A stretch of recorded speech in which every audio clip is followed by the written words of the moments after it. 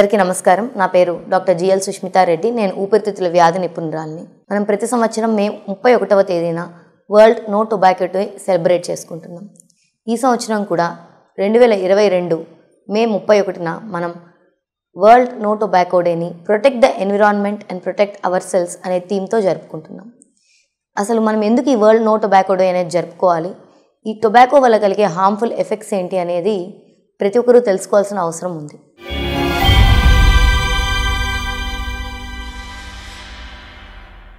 Tobacco అనేది చాలా రూపాల్లో వాడుకలో ఉంది. టొబాకో కన్సంప్షన్ అనేది వివిధ రకాల్లో ప్రజలకు అందుబాటులో ఉంది. ఫర్ ఎగ్జాంపుల్ సిగరెట్స్ సిగార్స్ చుట్ట బీడి అదే కాకుండా ఈ పొగాకు నవలడము ఇలా డిఫరెంట్ మెథడ్స్ ద్వారా ఈ టొబాకో యొక్క హార్మ్ఫుల్ ఎఫెక్ట్స్ ప్రజలకి ఇబ్బంది కలిగిస్తూ ఉన్నాయి. వీటిలో మోస్ట్ కామన్ ఎఫెక్ట్ అనేది సిగరెట్ స్మోకింగ్ ద్వారా వస్తుంది. మనం తీసుకున్నట్లయితే ఈ టొబాకోలో నికోటిన్ అనే ఒక ప్రేరేపితమైన సబ్స్టెన్స్ ఉంది. ఇది మన బ్రెయిన్లో ఉన్న న్యూరాన్స్ని ఈ సినాప్సెస్ని యాక్టివేట్ చేయడం వల్ల బ్రెయిన్లో ఒక ఎగ్జైటెడ్ స్టేట్ని క్రియేట్ చేస్తుంది. ఈ ప్రేరేపితమైన పదార్ పదార్థం వల్ల చాలామంది ఈ సిగరెట్లకు బీడీలకు ఈ నికోటిన్ అనే సబ్స్టెన్స్ వల్ల బానిస అవుతూ ఉంటారు. ముఖ్యంగా మనం తీసుకున్నట్లయితే ఈ నికోటిన్ అనే అడిక్షన్ వల్ల చాలామంది ఈ సిగరెట్ సిగార్ హార్మ్ఫుల్ ఎఫెక్ట్స్ బారిన పడి వాళ్ళ లైఫ్ని స్పాయిల్ చేసుకుంటూ ఉన్నారు. ఈ సిగరెట్లో చాలా హార్మ్ఫుల్ సబ్స్టెన్సెస్ ఉంటాయి. కేవలం నికోటిన్ మాత్రమే కాదు. ఒక స్టడీ ప్రకారం ఒక సిగరెట్లో ఏడు వేల హార్మ్ఫుల్ సబ్స్టెన్సెస్ ఉన్నాయి. వీటిల్లో ఈ ఏడు వేలు హార్మ్ఫుల్ సబ్స్టెన్సెస్లో డెబ్బై దాకా డైరెక్ట్గా క్యాన్సర్ కా కారణమయ్యే హార్మ్ఫుల్ సబ్స్టెన్సెస్ ఈ సిగరెట్లో ఉన్నాయి. ఫర్ ఎగ్జాంపుల్ ఒక సిగరెట్ని తీసుకున్నామంటే మనం సీవేజ్లో చూసే మీథేన్ గ్యాస్ అనేది ఈ సిగరెట్లో ఉంటుంది పెయింట్ ఉంటుంది. అలాగే రాకెట్స్లో యూస్ చేసే బ్యూటేన్ అనే ఫ్యూయల్ ఉంటుంది. మనం బ్యాటరీస్లో యూస్ చేసే క్యాడ్మియం అనే టాక్సిక్ మెటీరియల్ ఇవన్నీ కూడా ఈ సిగరెట్లో ఉంటాయి. ఎప్పుడైతే సిగరెట్ పీలుస్తారో బర్న్ చేసి పీలుస్తారో ఈ హార్మ్ఫుల్ సబ్స్టెన్సెస్ అంతా మన లంగ్స్లోకి వెళ్ళి లంగ్స్లో ప్యారెంకైమాని మరియు రక్తనాళాల్లోకి వెళ్ళి రక్తనాళాలని డ్యామేజ్ చేసి డిఫరెంట్ డిజీజెస్కి కారణమవుతూ ఉన్నాయి. ఈ సిగరెట్ స్మోకింగ్ అనేది డైరెక్ట్గా పీల్చే వాళ్ళకి మాత్రమే కాదు వారి పక్కన ఉన్న బంధువులకి ఫ్రెండ్స్కి కూడా దానివల్ల హామ్ జరిగే అవకాశం ఉంది. దీన్నే పాసివ్ స్మోకింగ్ అంటారు. అంటే స్మోక్ చేయడము అలవాటు లేని వారు కూడా ఈ టొబాకో ఒక సైడ్ ఎఫెక్ట్స్కి ఎక్స్పోజ్ అవుతూ ఉంటారు.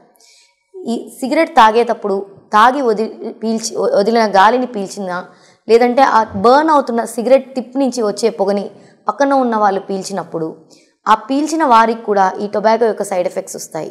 ఈ పాసివ్ స్మోకింగ్ వల్ల వాళ్ళ ఆరోగ్యం కూడా దెబ్బతినేదానికి అవకాశం ఉంటుంది. ముఖ్యంగా ఇంట్లో పిల్లలు ఉన్నట్లయితే వాళ్ళకి లంగ్ ఇష్యూస్ కూడా డెవలప్ అయ్యే అవకాశాలు ఉంటాయి. చిన్న వయసులో ఈ స్మోక్కి కంటిన్యూస్గా ఎక్స్పోజ్ అవ్వడం వల్ల డెవలప్ అవ్వవలసిన వాళ్ళ లంగ్స్లో ప్రాపర్ డెవలప్మెంట్ రాకపోవడము వాళ్ళకి రిపీటెడ్ లంగ్ ఇన్ఫెక్షన్స్ రావడము బ్రాంకైటిస్ డెవలప్ అవ్వడము పిల్లల్లో మనం తరచుగా చూస్తూ ఉంటాం.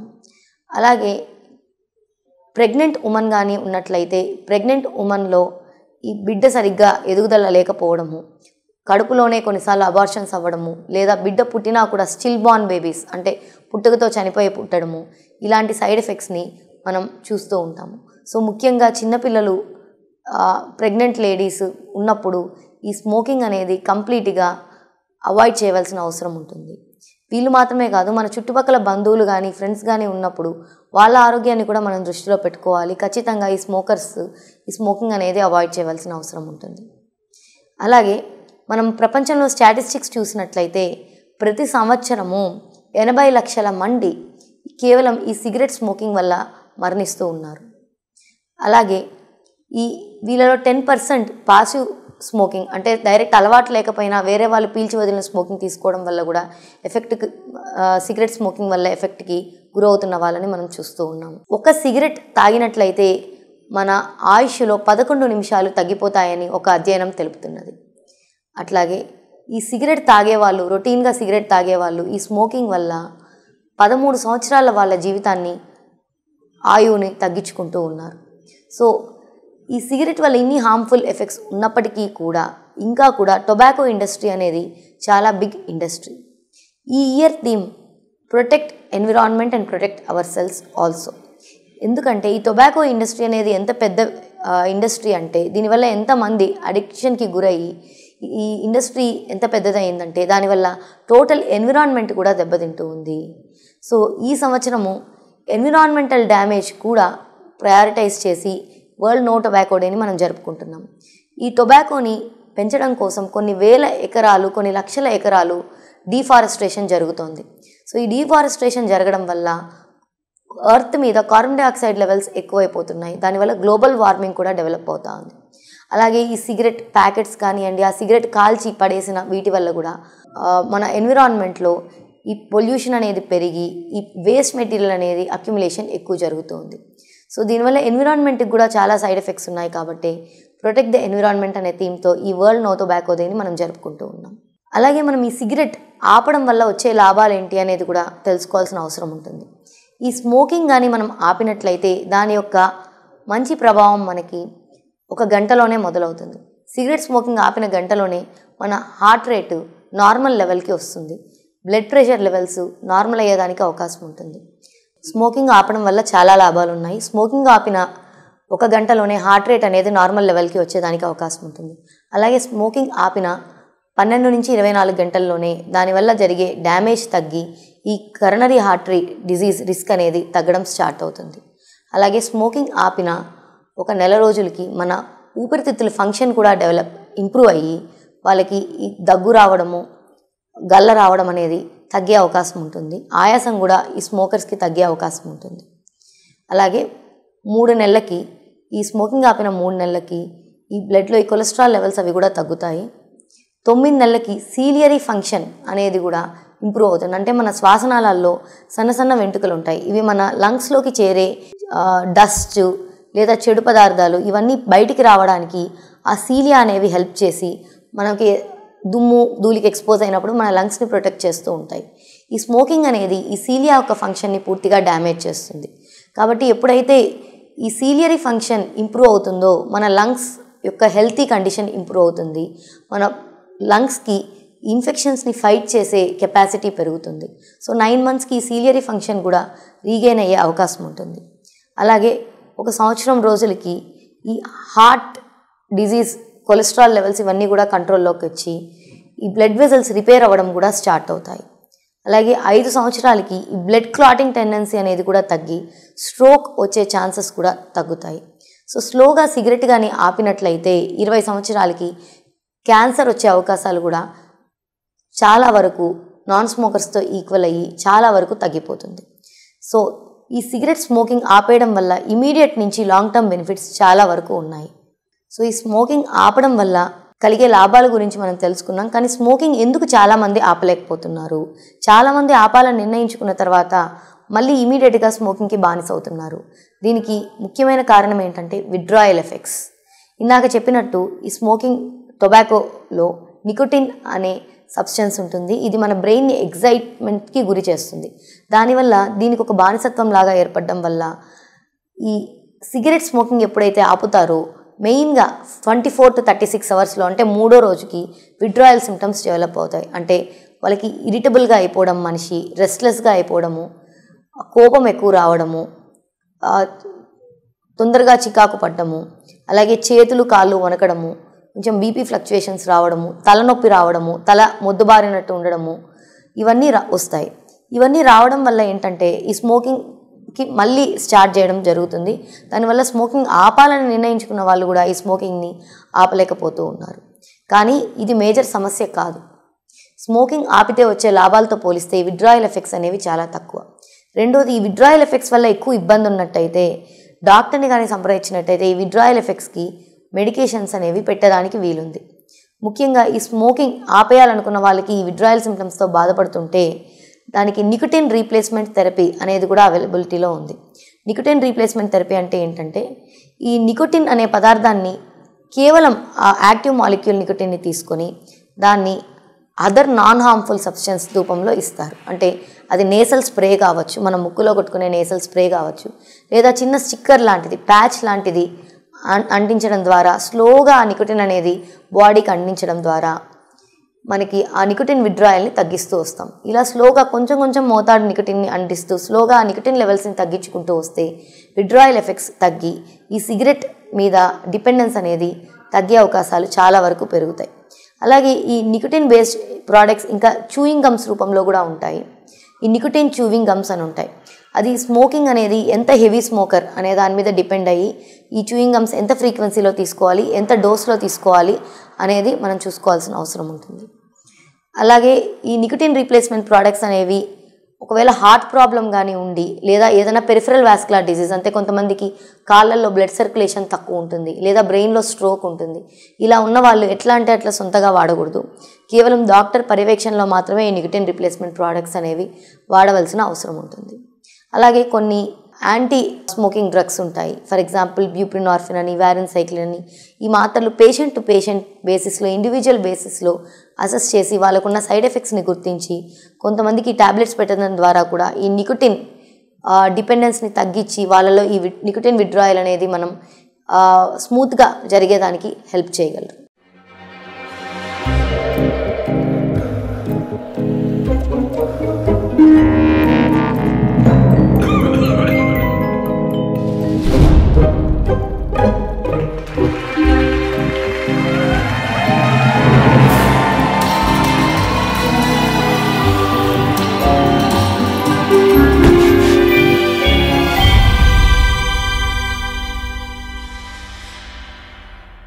అలాగే కేవలం మెడికల్ మేనేజ్మెంటే కాదు నాన్ ఫార్మకలాజికల్ మేనేజ్మెంట్ అంటే ముఖ్యంగా స్మోకింగ్ ఆపాలి అంటే కావాల్సింది మానసిక స్థైర్యం. స్మోకింగ్ ఆపేయాలి అనుకున్న వ్యక్తికి ఫస్ట్ చేయాల్సింది ఏంటంటే ఆ వ్యక్తి ఆపాలి అని ఖచ్చితంగా డిసైడ్ చేయాలి. అలా చేయాలి అంటే అతనికి కుటుంబ సభ్యులు మరియు స్నేహితుల సహకారం కూడా అవసరము. ముఖ్యంగా డాక్టర్ని సంప్రదించినప్పుడు ప్రతి సిఓపిడి పేషెంట్ సిఓపిడికి ప్రథమ కారణము ఈ స్మోకింగ్ అన్నమాట. సో స్మోకర్స్లో ఎయిటీ పర్సెంట్ ఆఫ్ ద మెంబర్స్కి సిఓపిడి ప్రాబ్లం లంగ్స్ డ్యామేజ్ అవ్వడం వల్ల ఉంటుంది. చాలామంది మనం చూసినట్టయితే క్లినిక్కి వచ్చే పేషెంట్స్లో ఈ సిఓపిడి పేషెంట్స్లో చాలామంది ఇంకా స్మోక్ చేస్తూనే ఉంటారు. ఒకవైపు లంగ్ డ్యామేజ్ జరుగుతూ ఉంటుంది దానికి ట్రీట్మెంట్ తీసుకుంటూ ఉంటారు కానీ స్మోక్ చేస్తూనే ఉంటారు. సో హాస్పిటల్కి వచ్చినప్పుడు అది ఏ డాక్టర్ అయినా కానివ్వండి ఊపిరితిత్తులకు సంబంధించి కాకుండా వేరే డాక్టర్ అయినా కానివ్వండి స్మోకింగ్ వీళ్ళు చేస్తున్నారా లేదా అనేది ఖచ్చితంగా అడగవలసిన అవసరం ఉంటుంది. You have to assess the patient అంటే ఇతను స్మోక్ చేస్తున్నాడా? చేస్తుంటే you have to advise him ప్రతి ఒక్కరు స్నేహితులు వెల్ విషర్స్ స్మోకింగ్ ఆప ఆపండి ఆపండి అనేది రిపీటెడ్గా వాళ్ళకి చెప్పవలసిన అవసరం ఉంటుంది. యూ హ్యావ్ టు అసిస్టెమ్ అంటే వాళ్ళకి స్మోకింగ్ ఆపడానికి తమ వంతు సహకారము ఫ్యామిలీ రూపంలో కానివ్వండి ఫ్రెండ్స్ రూపంలో కానివ్వండి సొసైటీ రూపంలో కానివ్వండి ప్రొవైడ్ చేయాలి. అలాగే దానికి కావలసిన సోషల్ సపోర్ట్స్ గ్రూప్ కూడా చాలా అవైలబిలిటీలో ఉన్నాయి. సో ఈ ఫెసిలిటీస్ అన్నీ కూడా ఎన్జిఓస్ ద్వారా కానివ్వండి సోషల్ సపోర్ట్ గ్రూప్స్ ద్వారా కానివ్వండి అందుబాటులో ఉన్నాయి. సో ఈ ఫ్యామిలీ మెంబర్స్ యొక్క రోల్ ఈ స్మోకింగ్ సెసేషన్లో చాలా ఇంపార్టెంట్ ఈ స్మోకింగ్ సెసేషన్ చేయాలి అనుకున్న వాళ్ళకి యూజువల్గా వాళ్ళు కూడా కొన్ని జాగ్రత్తలు తీసుకోవాల్సి ఉంటుంది. ఒకటి ఈ స్మోకింగ్ ఆపేసిన వాళ్ళకి మళ్ళీ ఇది స్మోకింగ్ రీస్టార్ట్ ఎప్పుడు చేస్తారంటే ఎక్కువగా ఇప్పుడు ఫ్రెండ్స్తో వెళ్ళి టీ తాగుతూ అప్పుడు ఒక సిగరెట్ తాగుదాం అనే ఆలోచనతో వెళ్తూ ఉంటారు. సో ఖచ్చితంగా స్మోకింగ్ ఆపేయాలనుకున్న వాళ్ళు ఈ స్మోకింగ్ ఫెమిలియర్ ప్లేసెస్ అంటే రెగ్యులర్గా స్మోక్ చేసే స్పేసెస్ ప్లేసెస్కి వెళ్ళడం అవాయిడ్ చేయగలిగితే వాళ్ళకి ఆ ఇన్స్టింక్ట్ కూడా స్మోక్ చేయాలనే ఇన్స్టింక్ట్ కూడా తగ్గిపోతుంది. అలాగే డైవర్ట్ చేసుకోవాలి వాళ్ళ మైండ్ని. స్మోకింగ్ ఆపేసినప్పుడు ఈ విడ్రాయల్ ఎఫెక్ట్స్ ప్లస్ దాని మీద డిపెండెన్స్ వల్ల మళ్ళీ స్మోక్ చేయాలనే కోరిక వీళ్ళకి చాలా తీవ్రంగా కలుగుతూ ఉంటుంది. అలాంటప్పుడు వాళ్ళ మైండ్ని డైవర్ట్ చేసుకోవాలి. సో మైండ్ డైవర్ట్ చేసుకునేదానికి వాళ్ళని వాళ్ళు బిజీగా ఉంచుకోవాలి. ఫర్ ఎగ్జాంపుల్ ఫిజికల్ ఎక్సర్సైజ్ రోజు కూర్చొని స్మోకింగ్ చేసే ఏరియాని అవాయిడ్ చేసి ఫిజికల్ ఎక్సర్సైజ్ పార్క్కి వెళ్ళి వాకింగ్ చేయడము లేదా ఏదైనా ఫిజికల్ ఎక్సర్సైజ్ చేసి వాళ్ళ యొక్క బాడీ స్టామినాని పెంచుకుని అట్ ద సేమ్ టైం మైండ్ని డైవర్ట్ చేసి స్మోకింగ్ని అవాయిడ్ చేయాలి. అలాగే మెడిటేషన్ యోగా ఇవి కూడా వాళ్ళ మైండ్ని ప్రశాంతంగా ఉంచడానికి కూడా హెల్ప్ చేస్తాయి. అలాగే కొన్ని సోషల్ సపోర్ట్ గ్రూప్స్ ద్వారా స్మోకింగ్ ఆపేస్తే ఏమి ఇబ్బంది కలుగుతూ ఉంది? స్మోకింగ్ ఎందుకు ఆపాలని అనేది వాళ్ళకి నిరంతరం చెప్పడం ద్వారా కూడా ఈ స్మోకింగ్ క్విట్ చేయడానికి ఫ్యామిలీ మెంబర్స్ మరియు సొసైటీ హెల్ప్ చేయగలదు. సో ఈ స్మోకింగ్ సెసేషన్కి బోత్ నాన్ ఫార్మకలాజికల్ ఇప్పుడు నేను చెప్పినవి ప్లస్ ఈ ట్యాబ్లెట్స్ నికోటిన్ రీప్లేస్మెంట్ థెరపీ ద్వారా మనం స్మోకింగ్ అవాయిడ్ చేయడానికి మనం మన వంతు కృషిగా ప్రతి ఒక్కరికి వీటి గురించి అవేర్నెస్ని క్రియేట్ చేయవలసిన అవసరం ఉంది. సో ఈ సిగరెట్ స్మోకింగ్ ద్వారా రకరకాల ప్రాబ్లమ్స్ వస్తాయి. మనకు మోస్ట్ కామన్గా వచ్చే problem chronic obstructive pulmonary disease COPD అంటాం. అంటే దీంట్లో ఊపిరితిత్తులు ఈ స్మోక్ యొక్క ఎఫెక్ట్ వల్ల వాటి పతుత్వాన్ని కోల్పోతాయి. మనం తీసుకున్నట్లయితే గాలి తీసుకునే గొట్టాల ద్వారా మనం పీల్చిన పీల్చిన కానీ లేదా వదిలిన పీల్చిన స్మోక్ కానీ మన శ్వాసనాళాల్లోకి వెళ్తుంది. దానివల్ల ఆ శ్వాసనాళాల యొక్క లైనింగ్ అనేది బాగా దెబ్బతిని గాలి గొట్టాలు ఏవైతే ఉంటాయో బ్రాంకై ట్రెకియా అంటాం. ఇవన్నీ కూడా వాపుకు లోనవుతాయి. వాపుకు లోనవ్వడం వల్ల ఆ శ్వాస వెళ్ళే గాలి ద్వారం అనేది చిన్నదైపోయి గాలి తీసుకోవడం ఇబ్బంది అవుతుంది వీళ్ళకి ముఖ్యంగా ఈ వాపు ఏర్పడడం వల్ల గల్ల రావడము దగ్గు రావడము అలాగే ఈ పిల్లి కూతల్లాగా రావడము ఇవన్నీ కూడా ఎక్కువగా చూస్తూ ఉంటాము.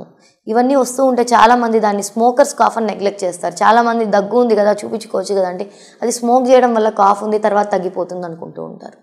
కానీ ఇది సిఓపిడిగా మారి క్రానిక్గా అయిపోయి వాళ్ళ ఊపిరితిత్తుల యొక్క శక్తి క్షీణించిపోయి దీన్ని క్రానిక్ అబ్స్ట్రక్టివ్ పల్మనరీ డిసీజ్ అనే ఒక క్రానిక్ డిసీజ్ డెవలప్ అవుతుంది. ఈ సిఓపిడి ఉన్న వాళ్ళకి రిపీటెడ్గా లంగ్ ఇన్ఫెక్షన్స్ వచ్చే అవకాశాలు కూడా ఉంటాయి. వీళ్ళకి ఈ సిఓపిడి వల్ల కాళ్ళవాపులు ఏర్పడము పర్చిలి బ్రీతింగ్ అంటే మనిషి సన్నగా అయిపోయి గాలి తీసుకునే దానికి ఇబ్బంది పడ్డము. లాంటివి మనం కామన్గా ఈ స్మోకర్స్లో చూస్తూ ఉంటాము. అలాగే ఈ స్మోకింగ్ వల్ల కేవలం సిఓపిడి మాత్రమే కాదు లంగ్ క్యాన్సర్ కూడా వచ్చే అవకాశం ఉంటుంది. మనం చూసినట్టయితే లంగ్ క్యాన్సర్లో ఎనభై శాతం నుంచి తొంభై శాతం మంది స్మోకర్స్ ఉంటారు. స్మోకింగ్ చేయని వాళ్ళకు కూడా లంగ్ క్యాన్సర్ రావచ్చు. కానీ తొంభై శాతం మంది స్మోకర్సే ఉన్నారు. అందుకని smoking is the predominant causative factor for lung cancer అంటారు. లంగ్ క్యాన్సర్కి జన్యుపరమైన కారణాలు కూడా ఉంటాయి. కానీ జన్యుపరమైన కారణాలకి ఈ స్మోకింగ్ తోడైనప్పుడు అది లంగ్ క్యాన్సర్కి కారణమవుతుంది. మరియు ఈ జన్యుపరమైన మార్పిడులు కూడా ఫాస్ట్గా జరిగి ఈ క్యాన్సర్ కూడా అడ్వాన్స్ స్టేజెస్లో చాలామందికి ప్రజెంట్ అవుతూ ఉంటారు. సో ఈ లంగ్ క్యాన్సర్ అనేది చాలాసార్లు ప్రజెంట్ అయ్యేటప్పటికి అడ్వాన్స్ స్టేజ్లో ఉండడం వల్ల దానికి క్యూర్ లేక జస్ట్ పాలియేటివ్ ట్రీట్మెంట్కే చాలామంది తీసుకోవాల్సిన పరిస్థితి కూడా ఉంటూ ఉంటుంది. కాబట్టి స్మోకర్స్ ఎప్పుడూ కూడా వాళ్ళ రెగ్యులర్గా హెల్త్ చెకప్ చేయించుకొని ఈ లంగ్ క్యాన్సర్ స్క్రీనింగ్ అనేది కూడా చేయించుకోవాల్సిన అవసరం ఉంటుంది. అలాగే ఈ స్మోకింగ్ వల్ల కేవలం లంగ్ క్యాన్సర్ మాత్రమే కాదు heart problems coronary artery disease అంటే హార్ట్ అటాక్స్ రావడము స్ట్రోక్ రావడము అంటే మెయిన్గా ఏమవుతుందంటే ఈ స్మోక్లో ఉన్న హార్మ్ఫుల్ సబ్స్టెన్సెస్ స్మోకు ఈ టాక్సిక్ సబ్స్టెన్సెస్ అని కేవలం ఊపిరితిత్తుల్ని మాత్రమే కాదు రక్తనాళాల్లోని ఇంటర్నల్ లైనింగ్ని కూడా దెబ్బతీస్తాయి రక్తనాళాల్లో ఎండోతీలియం అని మనకి ఇంటర్నల్ లైనింగ్ ఉంటుంది.